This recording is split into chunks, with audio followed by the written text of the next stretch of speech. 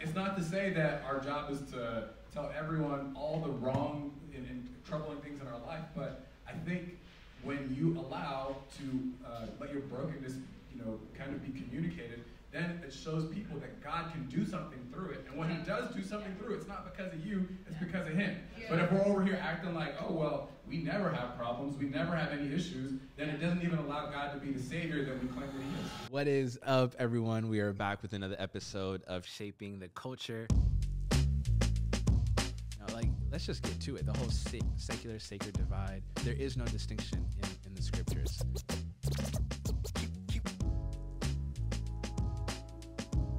Some of us have trust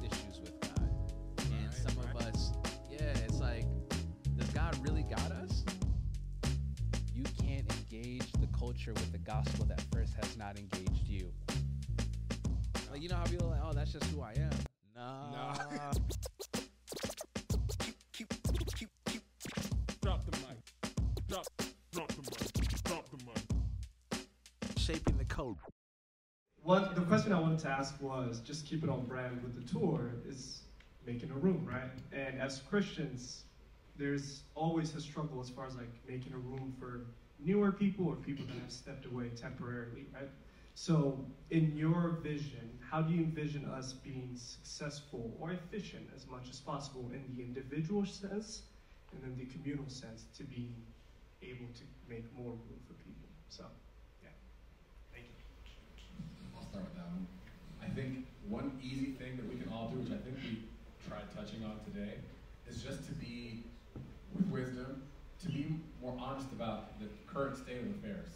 You know what I'm saying? And by that I mean, like, I think, at least in popular culture, I don't want to speak for everybody, there's like a sense that um, there is a disassociation between what goes on in Christian culture and what actually goes on in reality. Because because a lot of times, like, you know, this is like the this is the kind of uh, this is the heightened version of it, but like you'll talk to someone in the South they'll ask them how you're doing, they'll say blessed and highly favored, even though their whole life is falling apart. You know? And it's not to say that our job is to tell everyone all the wrong and, and troubling things in our life, but I think when you allow to uh, let your brokenness, you know, kind of be communicated, then it shows people that God can do something through it. And when He does do something through it, it's not because of you, it's because of Him. But if we're over here acting like, oh, well, we never have problems, we never have any issues, then it doesn't even allow God to be the Savior that we claim that He is. So, um, you know, I think the we, we, claim God as a Savior in terms of our salvation, but sometimes we have to allow Him to be Lord and Savior of our lives, not only through the way in which we follow His instruction, but also allowing Him to make something beautiful out of the mess in our lives. So, I would also add to that um, making room by not expecting perfection but progression in people's lives. Because I think as a church, as a body, and not like pointing fingers in any particular direction or church or anything like that, but as a body, I think we don't do as great of a job in helping people realize that the church exists for people who are actually progressing, not for people who are trying to attain the state of perfection. But because we put so much pressure on people to be perfect, to be sinless, to be walking upright, to be, you know, like exemplifying this relationship with Christ that even biblically doesn't even make sense. It's not accurate depiction of what our journey of faith should look like. We actually discourage and deter people from even trying rather than inviting them into the space where they're growing and feeling like there is room at the table for them. So I think just not putting this unrealistic pressure of we've got to get it together before we come to the Lord. We got to get it together. We got to be right. We got to be sinless. It's like, no, He actually accepts us as we are. He doesn't leave us there, but He accepts us as we are. And I think just being mindful um, as believers, as a community, as a body of how are we communicating and making room in this space for people who are just trying to take one step at a time. And yes, in that process, they'll probably fail once, twice, three times, four times, but are they getting back up? And are they willing to try again?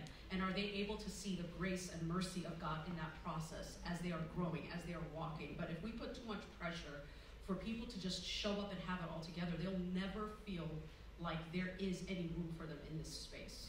And I think with the way culture is and with the way our day and time and where we're at right now, people are not. Tr- people can sense what's authentic and what's not.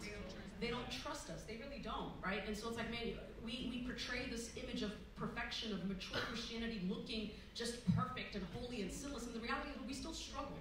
And while we're on this side of eternity, the process of sanctification is ongoing, which means we're not fully complete, we're not fully whole, perfect. So that means there's gonna be moments where we fall and we make mistakes and we don't do a great job, perhaps, of maybe exemplifying the grace and heart of Christ in the way that we should at all times, but that is okay. There is room in that space for us to keep going. I think we just need to be authentic with that message and just make room for people that are willing to progress and not for people that are just looking to just be perfect. So, yeah. That's really good. Can I say one more thing to that? Um,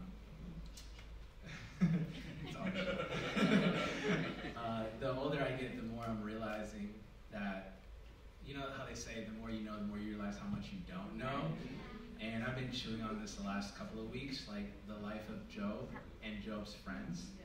Um, when you kind of study some of their conclusions about why Job was suffering the way he was suffering, they're, they're never theologically incorrect they don't say anything about Job, about sin, about God that's incorrect. But they were so off and so wrong, and that's because they placed the responsibility on themselves to rationalize for Job mm. why he was experiencing what he was experiencing. And so I have learned the way I make room for people is, is, is, is by not playing God. Mm. Lead with curiosity, lead with question, and don't always go to a Bible verse. Maybe what that person needs is for you to listen to weep with those who are weeping. Right. To just let them know that no matter where they are at, you're committed to their journey. Job's friends didn't know how long the pain would last. Job's friends didn't know what God was up to, though they acted like they did. And at the end, they were severely rebuked by God. And for me, reading that story, I've just learned, man, I, I'm going to be judged for the words I say. I'm going to be judged for the tweets or the whatever X, whatever it is now. Threads. That's right. Uh, for every Instagram, whatever it is, God's going to hold me accountable. And I don't want to put words in his mouth that are not of his. And so one of the ways I'm trying to make room for people is by making room for God and letting God be God.